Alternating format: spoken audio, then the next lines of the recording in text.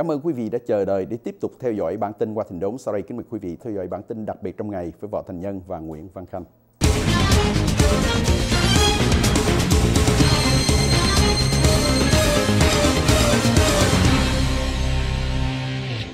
Kính chào quý vị, chúng tôi là Võ Thành Nhân. Tiếp tục trong chương trình ngày hôm nay, chúng tôi hân hạnh được tiếp xúc lại ký giả Nguyễn Văn Khanh để nhằm tìm hiểu về một số vấn đề có liên quan đến Syria. À, trước hết xin kính chào Nguyễn Văn Khanh. Dạ vâng, một lần nữa từ Washington tôi là Nguyễn Văn Khanh. Trước hết cũng xin được gửi lời chào đến Võ Thành Nhân và không quên gửi lời chào đến quý khán thính giả của đài SBTN.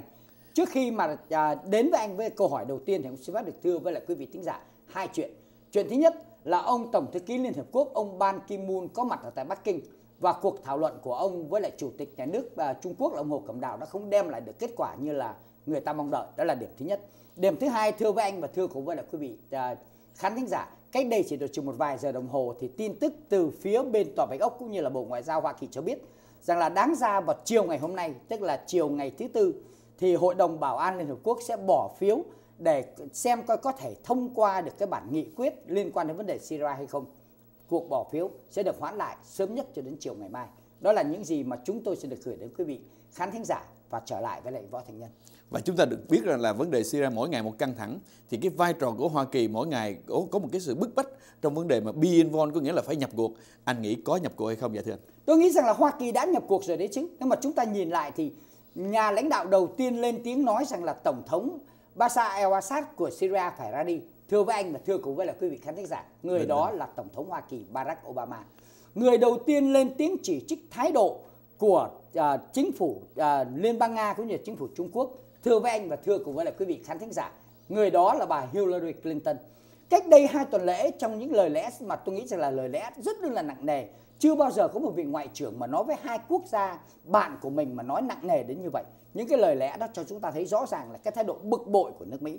Cái thái độ bực bội đó không phải là chỉ của mình Washington không thôi mà có lẽ là quý vị khán thính giả có nhìn thấy rõ ràng đó là thái độ bực bội của cả thế giới nhưng mà chúng ta nên nhớ rằng là những điểm mà chúng ta đang làm ở Syria hiện nay đều là những cái điều gặp rất là nhiều khó khăn. Nhiều người bảo với tôi rằng là chúng ta đã vào được Libya thì tại sao chúng ta không vào được Syria? Cái câu chuyện nó hoàn toàn khác nhau.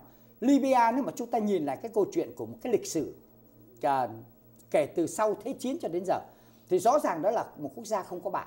Trong khi đó Syria thì họ không có được đồng minh nhưng mà họ có những người bạn gắn bó với họ trong suốt bao nhiêu năm trời vừa qua ít nhất là chúng ta nhìn thấy hai người bạn quan trọng người bạn thứ nhất là chính phủ Nga chính phủ Moscow và người bạn thứ nhì là chính phủ Trung Quốc, chính phủ Bắc Kinh, thưa anh Võ Thành Nhân.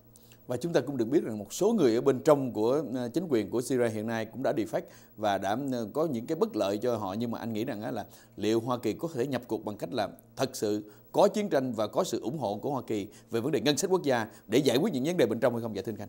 Anh Võ Thành Nhân cái câu hỏi này thì tôi phải thiếu thật là làm cho tôi nhớ lại cái câu chuyện của 24 giờ đồng hồ trước đây thì là tôi nghe được tin của những người bạn làm việc, những nhà ngoại giao làm việc ở New York.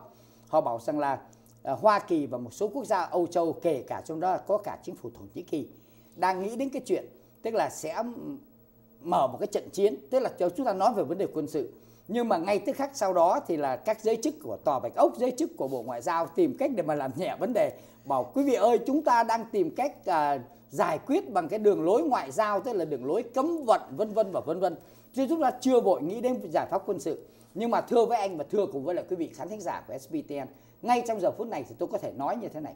Không biết rằng là Washington có nghĩ đến cái giải pháp quân sự hay không? Có thực hiện cái giải pháp quân sự hay không thì đúng hơn. Nhưng mà nếu bảo rằng là có nghĩ hay không thì câu trả lời đã chắc chắn là có. Đương nhiên là Washington phải nghĩ đến cái điểm đó. Cái vấn đề còn lại là làm sao mà tìm được mấy con đường, tìm được cái ngã rẽ để mà chúng ta có thể thực hiện cái giải pháp quân sự đối với lại chính quyền Syria, thưa anh Võ Thành Nhân. Và cuối cùng thì anh Nguyễn Văn Khanh có thể cho biết rằng là từ đây cho tới tháng à, ngày 6 tháng 11 có những cái quyết định quan trọng nào liên quan đến Syria sẽ xảy ra hay không dạ thưa anh? Tôi nghĩ rằng là nếu mà nói đến ngày mùng 6 tháng 11 tức là anh có thể muốn nói là ngày bầu cử tổng thống Mỹ. Tôi tôi nghĩ rằng là như vậy thì nó hơi xa.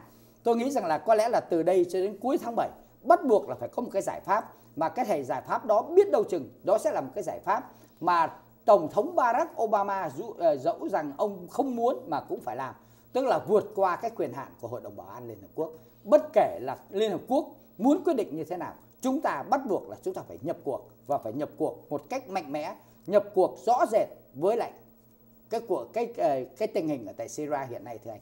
À, xin được cảm ơn Nguyễn Văn Khanh. Kính thưa vừa rồi là bản tin của chúng tôi và ký giả Nguyễn Văn Khanh. Chương trình đến đây xin được tạm ngưng và chúng tôi xin hẹn gặp lại quý vị vào kỳ sau. Một lần nữa xin được cảm ơn Nguyễn Văn Khanh. Cũng một lần nữa cảm ơn anh Võ Thành Nhân và không quên gửi lời cảm ơn đến quý khán thính giả SBTN.